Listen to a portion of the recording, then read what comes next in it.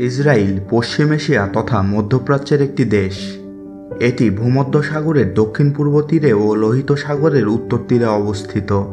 এটি মধ্যপ্রাচ্যের সবচেয়ে ঘনবসতিপূর্ণ একটি দেশ। এখানে প্রতি বর্গ কিলোমিটারে তিনশো একাশি জন অধিবাসী বাস করে। অর্থনৈতিকভাবে ইসরায়েল একটি অত্যন্ত উন্নত শিল্পপ্রধান রাষ্ট্র। দেশটির জীবনযাত্রার মান সমগ্র মধ্যপ্রাচ্যের মধ্যে সর্বোচ্চ। এশিয়াতে পঞ্চম এবং বিশ্বে উনিশতম। বন্ধুরা, আজকে আমরা এই ভিডিওটিতে ইসরায়েল সম্পর্কে জানা, অজানা এবং প্রয়োজনীয় কিছু তথ্য জানব। তাহলে চলুন শুরু করা যাক।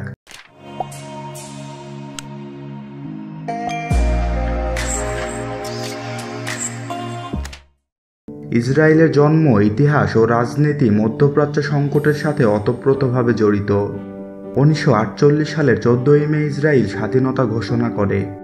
স্বাধীনতা ঘোষণার পর থেকে ইসরায়েল প্রতিবেশী আরব রাষ্ট্রগুলোর সাথে বেশ কয়েকবার যুদ্ধে লিপ্ত হয়। দেশটি উনিশশো সাতষট্টি সাল থেকে ফিলিস্তিনি অধ্যুষিত পশ্চিম তীর ও গাজা উপত্যকা সামরিকভাবে দখল করে আছে। বর্তমানে পৃথিবীর একশো একষট্টি রাষ্ট্র ইসরায়েলকে স্বাধীন রাষ্ট্র হিসেবে স্বীকৃতি দিলেও একত্রিশটি রাষ্ট্র, যেগুলো মূলত মুসলমান অধ্যুষিত, তারা এখনও ইসরায়েলের সার্বভৌমত্ব মেনে নেয়নি এবং দেশটির সাথে তাদের কোনো কূটনৈতিক সম্পর্ক নেই। তাদের অনেকের মতে ইসরায়েল স্বাধীন রাষ্ট্র ফিলিস্তিনের একটি অংশের অবৈধ দখলদার বাহিনীর নিয়ন্ত্রিত ভূখণ্ড। তবে নিকটতম দুই আরব প্রতিবেশী মিশর ও জর্দানের সাথে ইসরায়েল শান্তি চুক্তি স্বাক্ষর করেছে ও দেশ দুইটির স্বীকৃতিও লাভ করেছে। উনিশশো সালের সতেরোই মে তৎকালীন সোভিয়েত ইউনিয়ন ইসরায়েলকে প্রথম স্বাধীন রাষ্ট্র হিসেবে স্বীকৃতি দেয়। ইসরায়েলের মোট আয়তন বাইশ হাজার বাহাত্তর বর্গ কিলোমিটার আয়তনের হিসাবে এটি বিশ্বের একশো পঞ্চাশতম দেশ। এই দেশের মোট জনসংখ্যা দু হাজার আঠারো সালের একটি হিসাব অনুযায়ী প্রায় অষ্টআশি লক্ষ পঁচাশি হাজার নয়শো আশি জন। জনসংখ্যার হিসাবে এটি বিশ্বের ছিয়ানব্বইতম দেশ। দেশটির বর্তমান রাজধানী এবং বৃহত্তম শহর হচ্ছে জেরুজালেম। তবে এটা এখনও বিশ্বের সব দেশ দ্বারা স্বীকৃত নয়। ইসরায়েলের সরকারি ভাষা হলো দুইটি। এগুলো হলো হিব্রু এবং আরবি।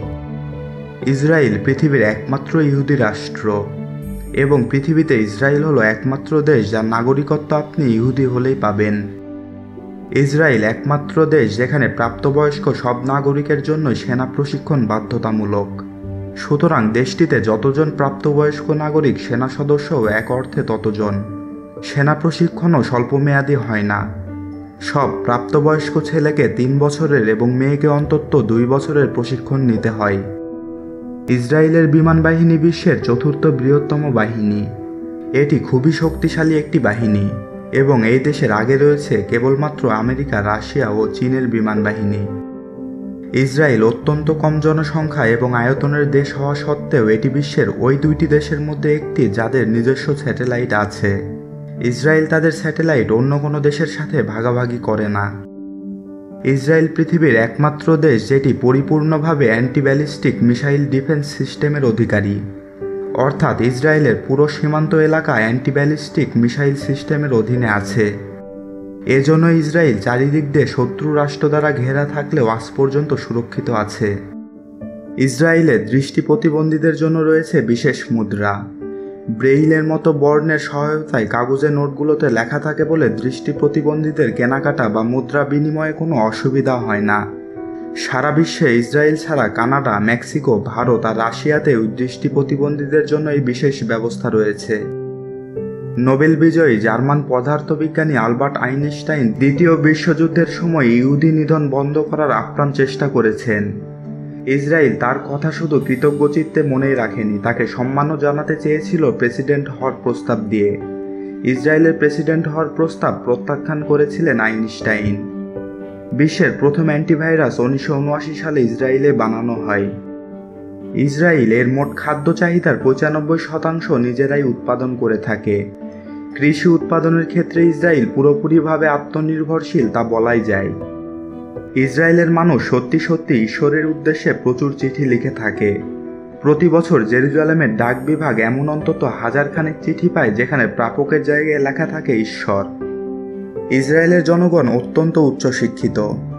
এখানকার প্রায় অর্ধেক জনগণ যাদের বয়স পঁচিশ থেকে চৌষট্টি বছরের মধ্যে তাদের বিশ্ববিদ্যালয় বা তার সমপর্যায়ের শিক্ষাগত যোগ্যতা আছে, যা বিশ্বের তৃতীয় সর্বোচ্চ। ইসরায়েলের অর্থনীতি আধুনিক পশ্চিমা বিশ্বের অর্থনীতির সমপর্যায়ে। ইসরায়েলের নিজস্ব সম্পদের পরিমাণ খুবই কম। দেশটি উনিশশো সত্তরের দশক থেকে মার্কিন যুক্তরাষ্ট্রের কাছ থেকে বিপুল পরিমাণ আর্থিক অনুদান পেয়ে আসছে। তবে উনিশশো আটানব্বই এর পর থেকে এই অনুদানের পরিমাণ কমিয়ে দেওয়া হয়। ইসরায়েলে প্রায় তিন হাজারেরও বেশি হাইটেক কোম্পানি রয়েছে, যা সিলিকন ভ্যালির পর বিশ্বের দ্বিতীয় সর্বোচ্চ। ইসরায়েলের রাষ্ট্রীয় মুদ্রা হচ্ছে ইসরায়েলি সেকেল। এই দেশের মোট জিডিপি দুই হাজার আঠারো সালের একটি হিসাব অনুযায়ী প্রায় তিনশো চৌত্রিশ বিলিয়ন মার্কিন ডলার। এবং এই দেশের ডায়ালিং কোড হচ্ছে প্লাস নয় দুই সাত। বন্ধুরা, এই ছিল ইসরায়েলকে নিয়ে আপনাদেরকে জানানোর মতো কিছু তথ্য। নিয়মিত বিশ্বের বিভিন্ন দেশ সম্পর্কে জানতে আমার চ্যানেলটি সাবস্ক্রাইব করতে ভুলবেন না। আর ভিডিওটি ভালো লেগে থাকলে ভিডিওটিতে লাইক, কমেন্ট এবং ভিডিওটি শেয়ার করুন। ধন্যবাদ।